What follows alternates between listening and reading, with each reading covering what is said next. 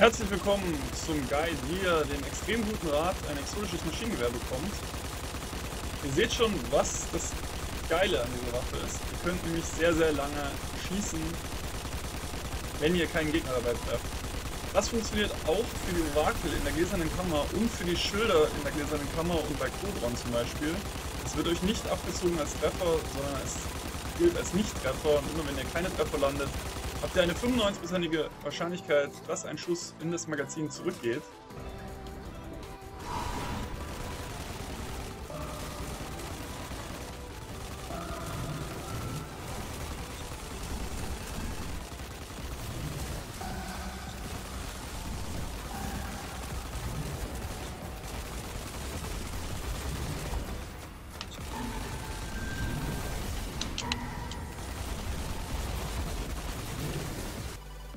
So, hier sind wir beim exotischen Waffenbeutezug auswählen und da brauchen wir eine Stimme in der Wildnis. Durchsuche Beutedepots auf dem Mars nach Hinweisen.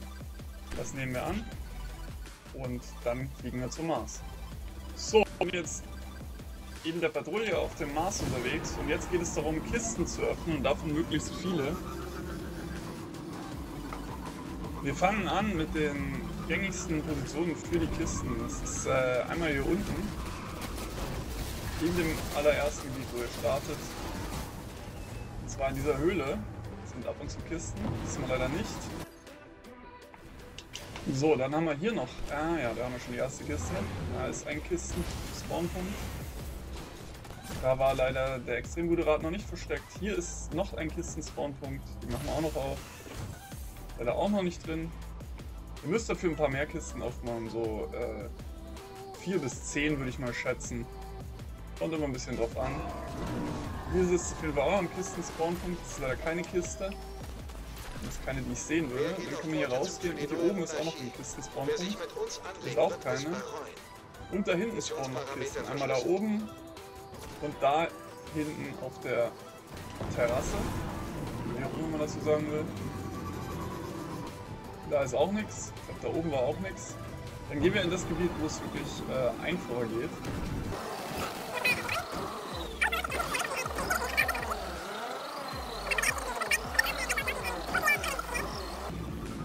Fangen wir vorne links an. Genau, und zwar hier unten.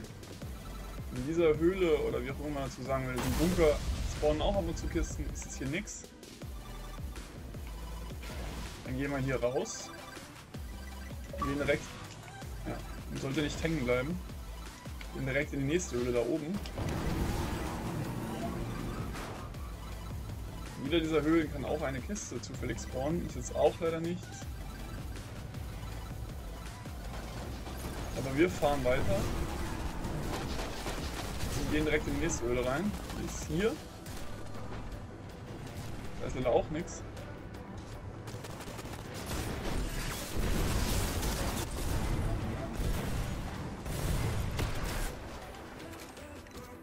Aber hier sind noch mehr von diesen Höhlen. Und zwar genau hier die nächste. Ist leider auch nichts drin. So, jetzt gucken wir erstmal hier hinten. Hier oben spawnen auch Kisten. Mal hier und da oben ist leider auch nichts. Oben drauf hier spawnen öfters auch mal Kisten. Dann gehen wir erstmal in die Höhle rein. Da ist noch ein Kisten-Spawnpunkt. Ist leider jetzt auch nichts. Vorführeffekt.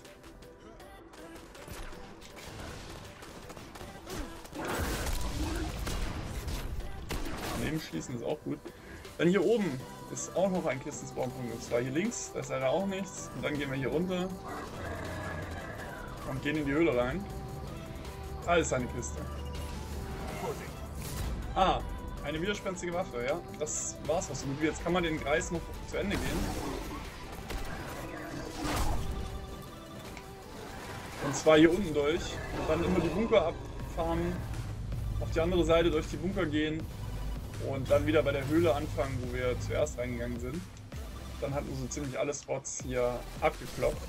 Da oben spawnen auch manchmal Kisten, man kann immer mal wieder hier herauspieken und gucken, ob da noch eine Kiste ist. Und dann diese auch noch mitnehmen. So, der nächste Schritt ist eine widerspenstige Waffe. Bringe das Gehäuse zum Waffenmeister. Wir sind schon mal in den Turm geflogen. Der Waffenmeister befindet sich da vorne. Er blinkt auch schon mit seinem grünen Kugel-Icon. Oder wie auch immer man dazu sagen will.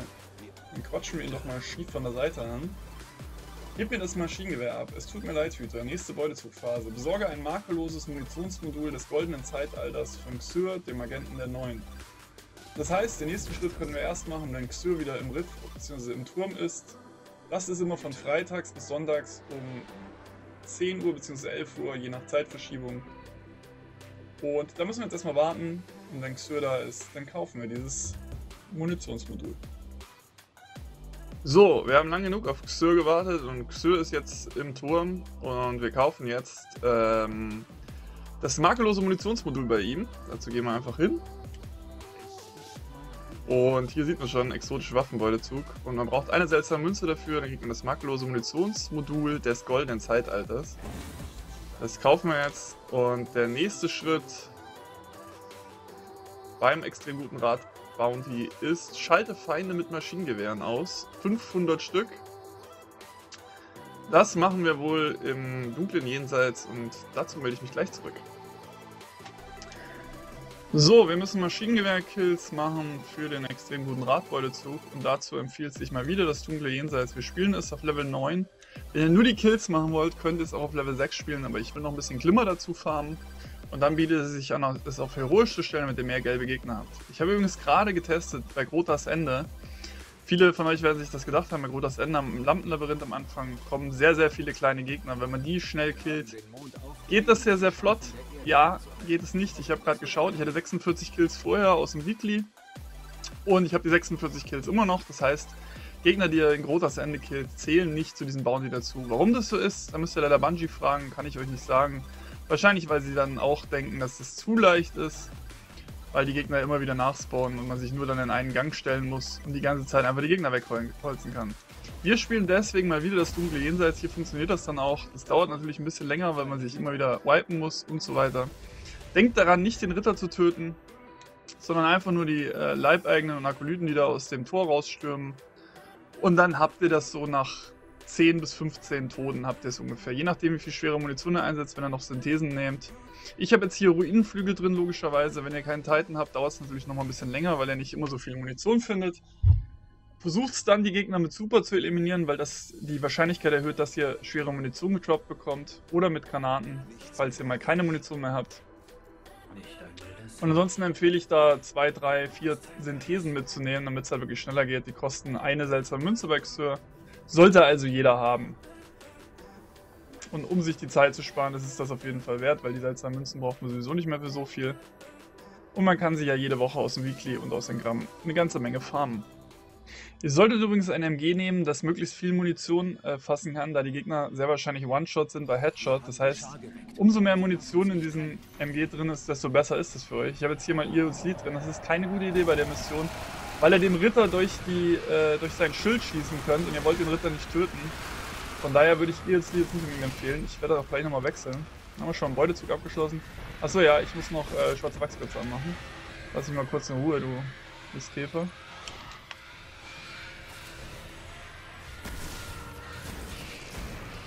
So, wir haben schon noch zwei Schuss. Wie viel ballern wir noch?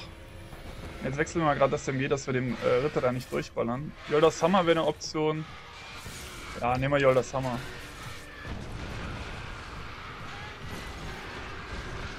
So, so, jetzt versuchen wir uns mal möglichst viele Gegner zu suchen. So, die sind halt gerade alle weg. Das war äh, nicht so optimal. Jetzt habe ich keine schwere Munition mehr. Ich bin auch gerade mal überlegen, ich nehme glaube ich äh, extrem guten Rat, ich habe die ja schon. Weil dann habt ihr natürlich den Vorteil, dass wenn ihr daneben schießt, ihr die Munition wieder zurückbekommt. Das heißt, es euch wird nur Munition abgezogen, wenn ihr auch Kills macht, oder so gut wie nur. Ihr verliert zwar ein bisschen was, so 5% von den Schüssen, die daneben gehen, verliert ihr auch, aber der Rest geht ins Magazin zurück. Jetzt nehmen wir eine Synthese, wir dann volle Munition haben, laden nach. Dann stellen wir uns einfach hin und lassen die Gegner auf uns zurennen und holzen die um. Man kann schön da reinhalten, egal was daneben geht. Man verliert da nicht so wahnsinnig viel. Man soll ja natürlich nicht alles daneben holzen. Irgendwann ist sie dann auch mal alle. Also wie gesagt, Korrekturmaßnahme oder ähnliche Maschinengewehre sind auf jeden Fall sehr, sehr gut, die möglichst viel Munition fassen. Ich habe jetzt nur das hier dabei und ihr seht, wie jetzt ist halt wegen dem Ritter nicht so die optimale Lösung. Weil ihr wollt den auf keinen Fall killen, weil das kostet euch natürlich haufenweise Zeit, wieder in den Orbit zurückzugehen.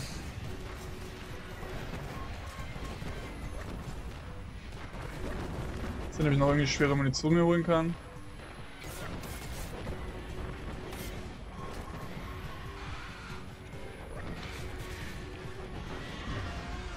Schön nochmal selber killen mit der Granate. Warum auch nicht. Schauen wir gerade mal, 60 Kills haben wir schon gemacht. 46 hatten wir vorher. 155 haben wir jetzt schon.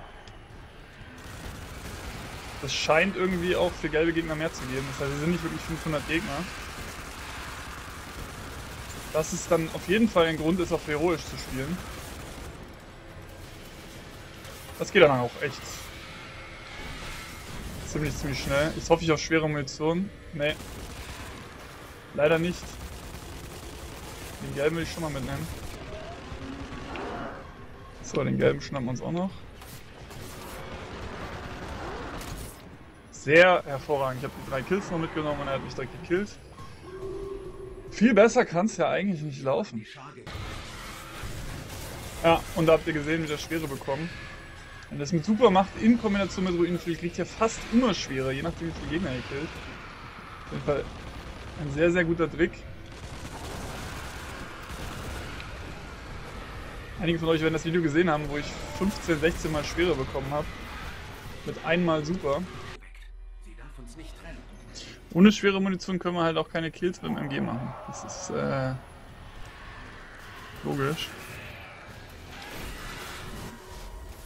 Ja. Endlich.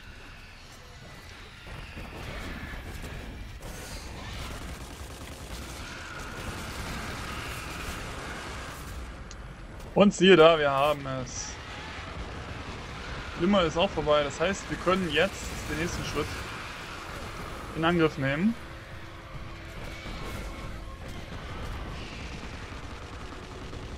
Schauen wir mal, was das ist. Gehen wir hier erstmal raus, bevor ich dann gekillt werde. Ab zum Orbit.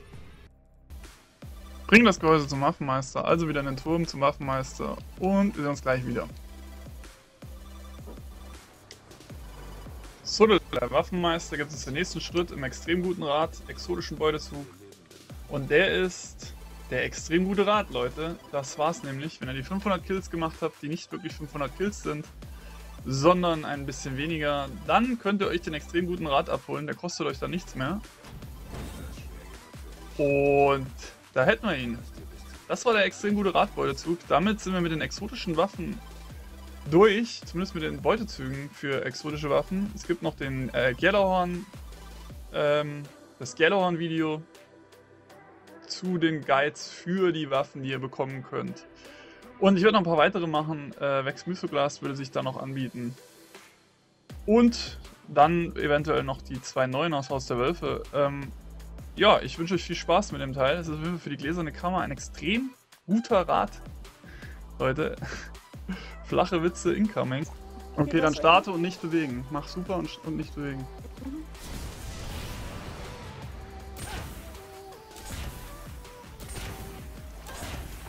Okay, 19, 13. Ja, mach die Gegner, mach die Gegner platt. Ja, nicht mich! Was ist los mit dir? Hallo!